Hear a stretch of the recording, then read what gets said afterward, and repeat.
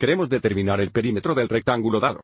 El perímetro de un polígono es la distancia alrededor del exterior, y se puede determinar determinando la suma de las longitudes de los lados. Entonces, para nuestro rectángulo, para determinar el perímetro, necesitamos sumar las longitudes de los cuatro lados. Y una propiedad de los rectángulos es que los lados opuestos tienen la misma longitud. Entonces, si este lado aquí es de 6 pulgadas, también lo es este lado. Y si este lado mide 14 pulgadas, también lo es el lado opuesto aquí. Entonces, para determinar el perímetro o la distancia alrededor del exterior de este rectángulo,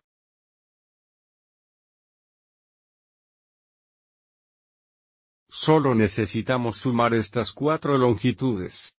Entonces tendríamos 14 pulgadas más 14 pulgadas, más 6 pulgadas, más 6 pulgadas.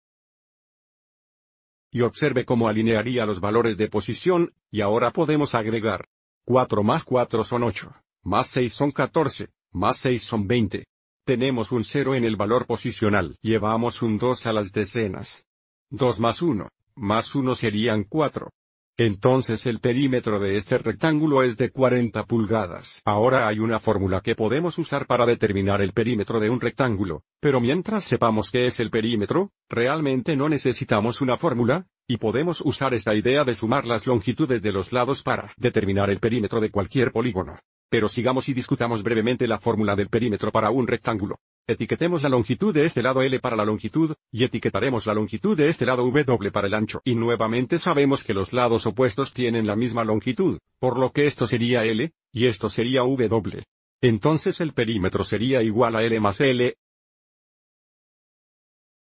más W más W. Para que podamos usar la fórmula, el perímetro es igual a dos veces la longitud, más dos veces el ancho, para determinar el perímetro de cualquier rectángulo. Entonces, si queremos aplicar esto, fórmula para el rectángulo que nos dieron, el perímetro sería igual a 2 por 6, más 2 por 14. Que serían 12 más 28, que por supuesto son 40 pulgadas. Entonces, ya sea que usemos la definición de perímetro o la fórmula del perímetro para un rectángulo, nuestra respuesta es la misma.